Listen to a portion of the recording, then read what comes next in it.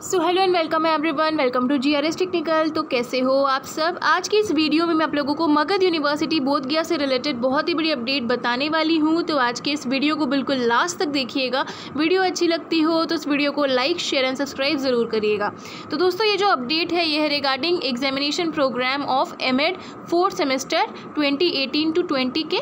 Session के जैसे कि आज की डेट में, यानी कि छः तारीख को रिलीज़ करा गया है सिक्स ऑफ़ अक्टूबर चलिए जानते हैं पूरी अपडेट क्या है, और वीडियो अच्छी लगेगी तो लाइक शेयर सब्सक्राइब ज़रूर करिएगा। तो देखिए स्टूडेंट्स आप लोगों का जो एग्जामिनेशन का जो टाइम है, वो आप लोगों का सुबह में दस बजे से लेकर के दोपहर में एक बजे तक कंडक्ट कराया जाएगा, यानी कि पहले शिफ्ट में ही आपका एग्जामिनेशन हो जाएगा।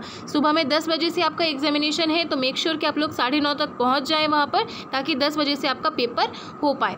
अब देखिए आप लोगों का जो पेपर है, वो अट्ठाईस तारीख से शुरू होगा, दुर्गा पूजा के बाद अट्ठाईस अक्टूबर से शुरू होगा, फिर उनतीस को है, फिर तीस को है। यहाँ पे आपका पेपर का नाम लिखा हुआ है और यहाँ पे सब्जेक्ट्स के बारे में बताया गया है, यहाँ पे आप लोग देख भी सकते हैं, ठीक है?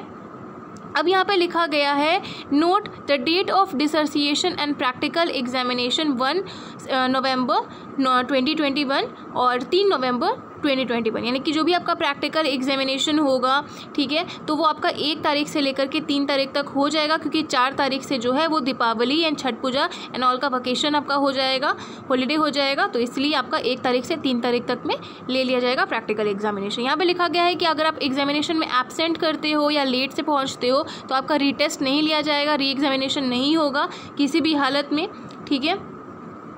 जो नोटिस ऐसे रिलीज़ किया गया है भीगू नाथ जी के द्वारा, जो कि मगध यूनिवर्सिटी बोध गया के कंट्रोलर ऑफ़ एग्जामिनर है। और आपको यहाँ पे कोविड का जो प्रोटोकॉल है, उसको स्ट्रिक्टली से पालन करना है, ठीक है? तो दोस्तों, मुझे उम्मीद है कि वीडियो आपके काम की रही होगी और वीडियो अच्छी लगी हो तो इस वीडियो को लाइक शेयर सब्सक्राइब ज़रूर करिएगा। इसी के साथ जय हिंद, वंदे मातरम।